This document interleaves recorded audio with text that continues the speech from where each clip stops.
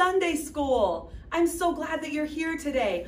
I have got permission to use Professor Jones's lab today because I have got an awesome experiment that I am working on. I'm trying to figure out how to help my friend Bob. See, Bob's got a few problems. Bob only obeys when he wants to. And I've got to figure something out so that Bob obeys. So trying to figure some stuff out, get my calculations right, and see what we can do. So we'll learn more about Bob in a minute. But first thing we always do when we come to Sunday school is we, you got it, we pray. So let's all bow our heads, close our eyes, and let's ask Jesus to help us have an awesome time today, okay? Jesus, we love you so much. And we're so thankful that we can come to Sunday school and that we can learn more about you. Jesus, you have a special message today that you want us to hear. So I ask that every boy, every girl, every mom, every dad, everyone that's watching Sunday school today, that their hearts would be open and they would hear and learn what you would want them to know. And we ask it today in Jesus' name. Now, did you hear the song that I was singing earlier? That is a song that has been on my mind and heart all week long. And I just find myself singing it when I'm doing stuff at work, in the lab. So I think that I want to share it with you today so you can learn it. And I have a special guest today who is going to help me. Are you ready? All right, give me one moment. I'm going to get our special guest. I give right. myself Well, we are here for worship time now, and I've got my special guest Elijah with me, who is going to sing with us today. So let's just worship away. as I teach you this song So that's been on my heart this week that I've been singing. It's called "I Give Myself I give Away." myself away.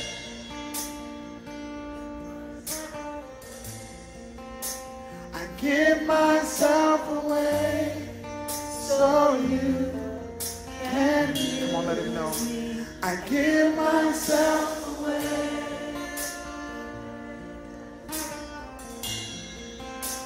I give myself away so you can use me. I give myself away. What would happen I give myself. if a generation embraced this? so on. Here I am.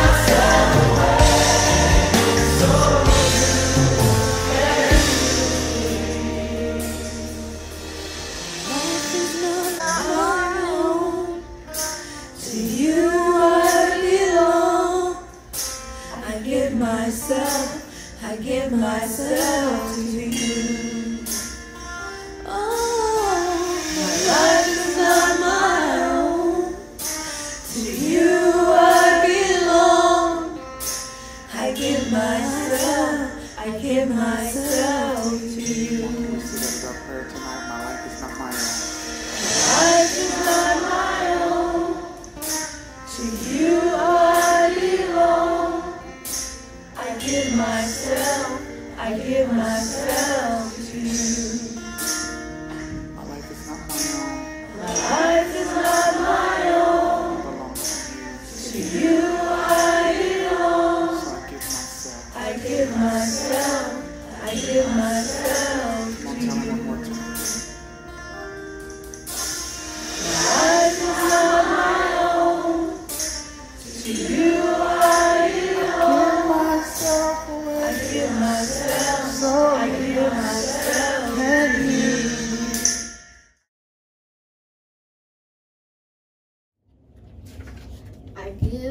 Myself away so you can. What are you doing, Elijah?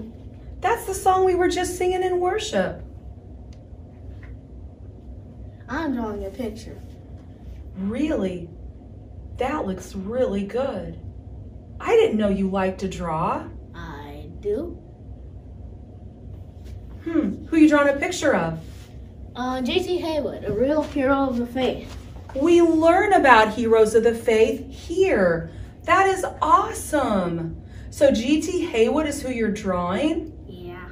Wonderful. What do you know about him that makes him a hero of the faith?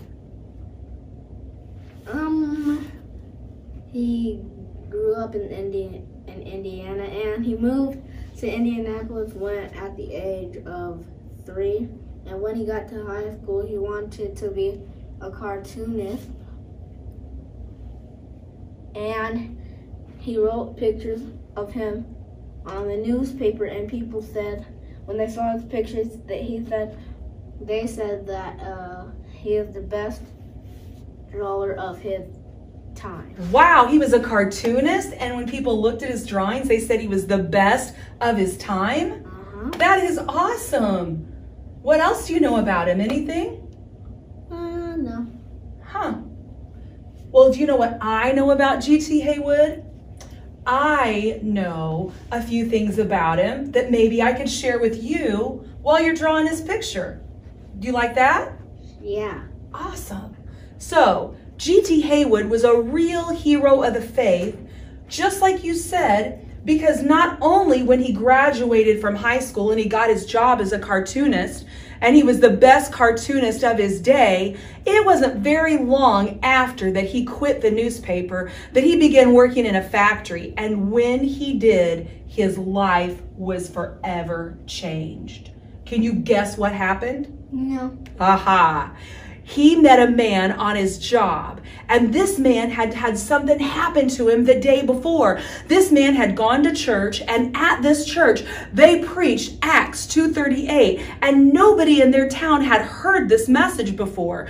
But in this message, they were telling them to repent and to be baptized in Jesus' name and that you would receive the gift of the Holy Ghost. And when G.T. Haywood was invited with this man to go to church, he did. And his wife went. And while they were there and they were listening to the preacher and he was preaching, something started happening on the inside of G.T. Haywood's heart. He wanted to go pray. But have you ever wanted to do something but you just felt like, oh, not sure? Well, his friend came and said, Would you like me to go to the altar up front and pray with you? And he said, Yes, he would. So they went up there and he prayed and he received the gift of the Holy Ghost and his life was forever changed. And G.T. Haywood, it didn't stop there. He would read his Bible. You read your Bible, right? Yeah. Have you ever read something in the Bible that you didn't quite understand? Um, yeah. Sometimes. I do sometimes. And so what G.T. Haywood did is he would pray about it and he would say, Jesus, what does this really mean? And the Lord would talk to him. And one day, G.T. Haywood heard the Lord speak to him and told him that baptism in Jesus' name and he began to study about baptism in Jesus' name. And G.T. Haywood realized that as he began to study and read the Word of God, that in the book of Acts, do you know that no one was ever baptized when they put him down in the water saying Father, Son, and Holy Ghost? But only were they baptized in Jesus' name. And G.T. Haywood, when he saw that in the Bible, he said, That is the way you should be baptized because that's what the word says. And so, anytime that he baptized anybody because he became a preacher, it was always in Jesus' name. And just like in the Bible, whenever some people saw things or heard things they didn't like, they kind of got a little upset. There were people that G.T. Haywood knew that didn't really agree with that baptism and only Jesus' name. And so what happened was is they just stopped being G.T. Haywood's friend. But do you know who G.T. Haywood wanted to be his best friend? No matter what? You got it. Say it again. Jesus. Jesus, you're right.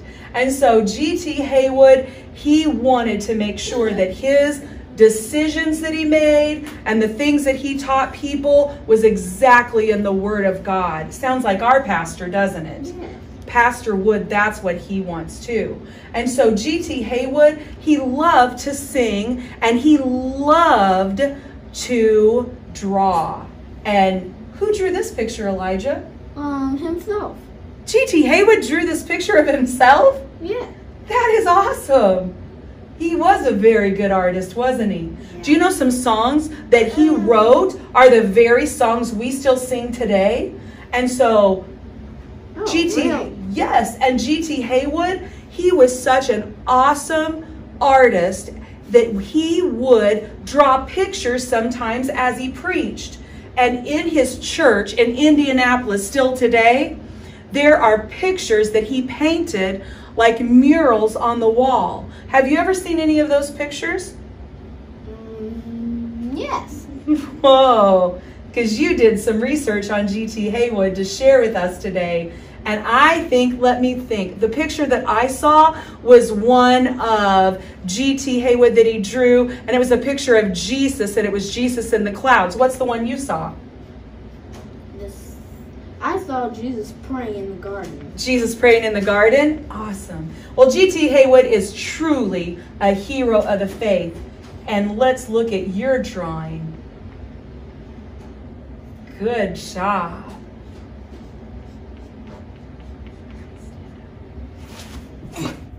That is awesome, Elijah. Yeah. Good job.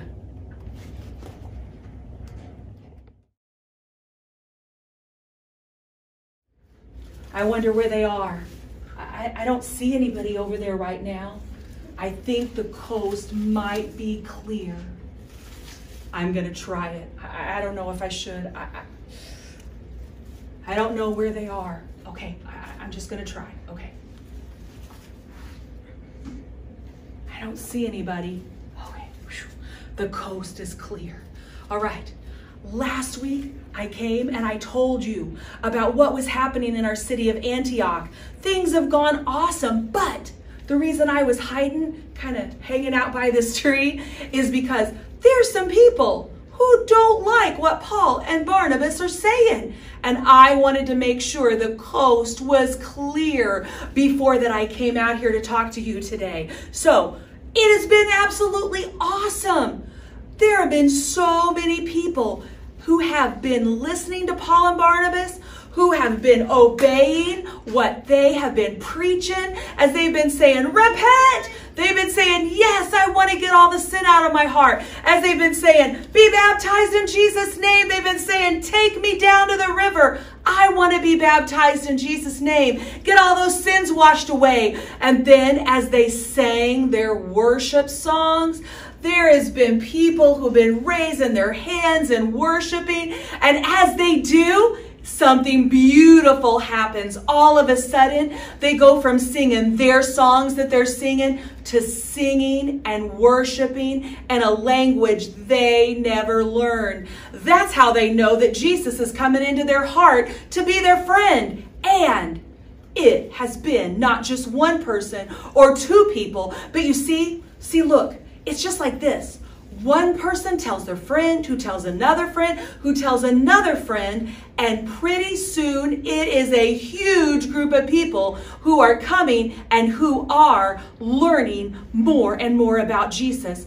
My story is in Acts 13, and it says in there that the whole city came to hear Paul and Barnabas. Can you imagine our whole city coming to church? Wouldn't that be wonderful? We would have to be outside because it wouldn't hold everybody in the church. I don't even think that all of the ground that we have around the church would hold the whole city, but it sure would be nice if the whole city came to church. And that's what's happening in my city of Antioch. The whole city came out to church. But not everybody who came out, like I said earlier, wanted to hear about Jesus. And Paul and Barnabas, when they first started saying, Stop talking about Jesus, do you know what they did? They prayed for boldness. Maybe I should pray for boldness and not come hiding around a tree. You think? Oh, that's what I need to do is pray for boldness. That's what you need to do because you're going to go some places where not everybody wants to hear about the love of Jesus. But just like Paul and Barnabas, they told them, just because you don't want to hear about the love of Jesus and how to change your heart, we're not going to stop telling people because there are people who want to obey and hear what the Bible says. So Paul and Barnabas, they prayed for boldness.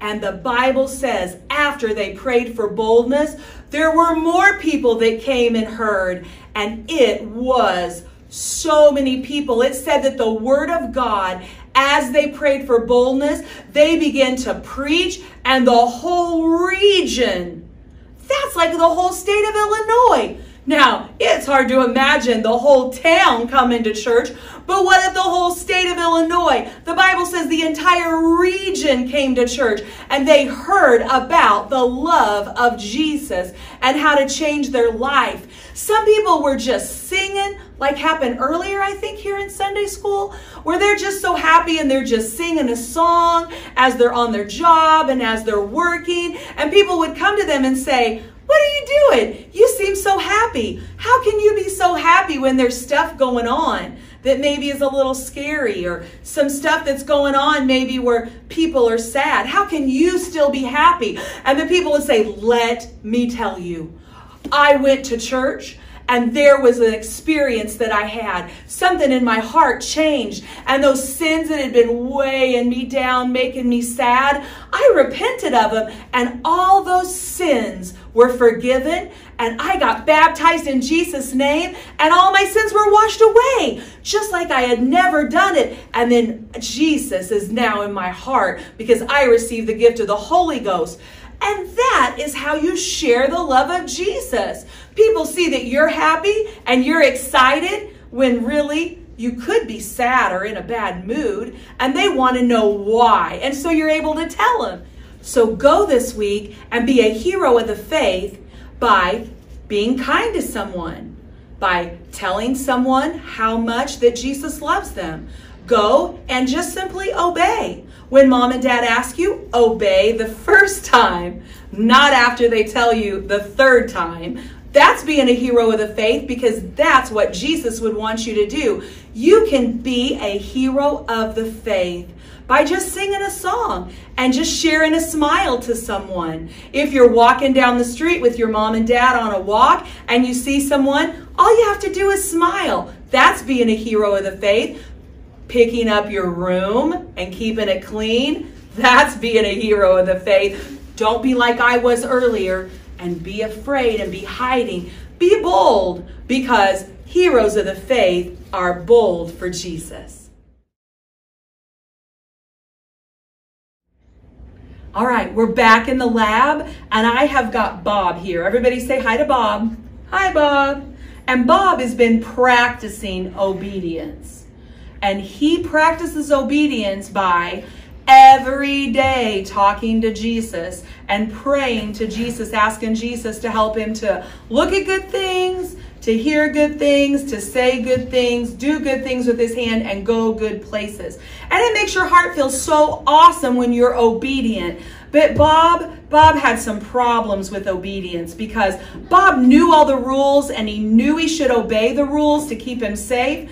But Bob only wanted to obey when he felt like it. Have any of you ever just wanted to obey when you felt like it? Well, that isn't the way you obey rules. You obey the rules all the time. So Bob's been practicing to having an obedient heart and obeying the first time. So Bob, I think you can do this, all right?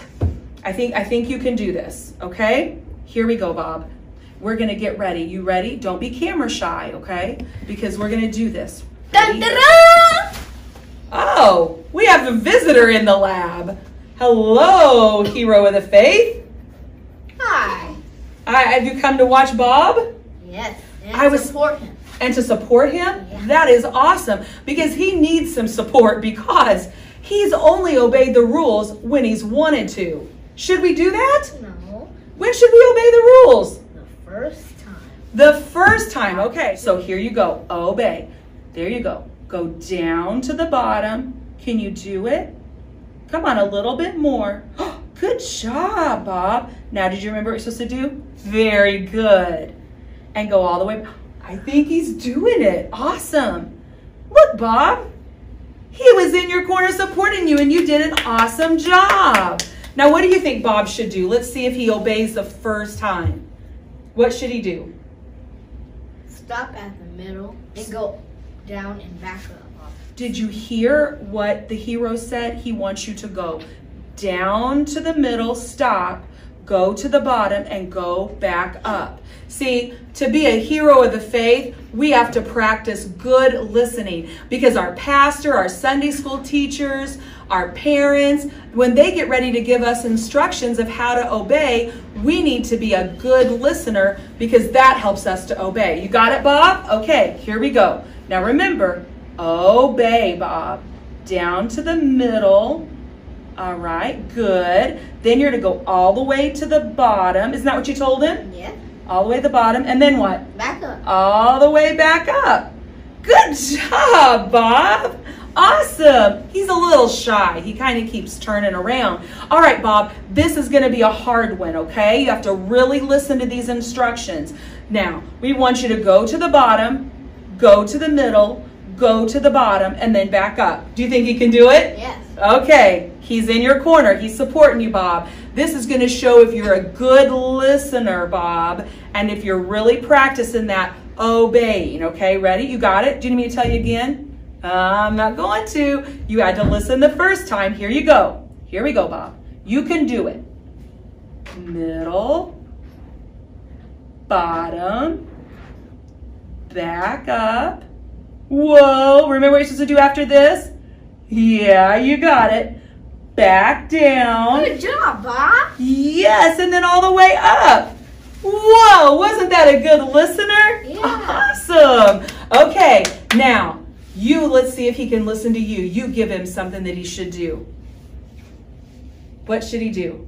He should go down to the bottom. Okay, you listening, Bob? Being obedient is being a good listener. Go to the bottom.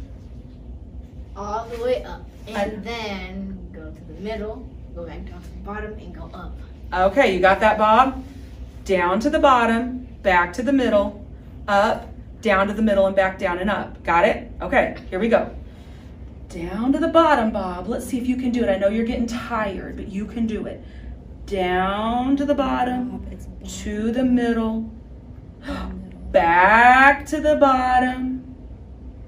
You can do it, Bob. Back to the top. He's almost got it. Then down to the middle, Bob. Do you remember? Here we go. Middle. And then back up. Woohoo! Good job, Bob. All right. Bob is practicing his obedience, and this week you go be a hero of the faith and you give your life to Jesus and obey, and it will be an awesome week. See you next week.